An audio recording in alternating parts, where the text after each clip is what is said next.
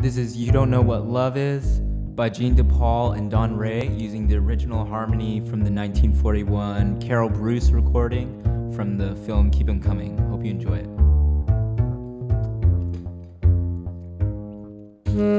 it.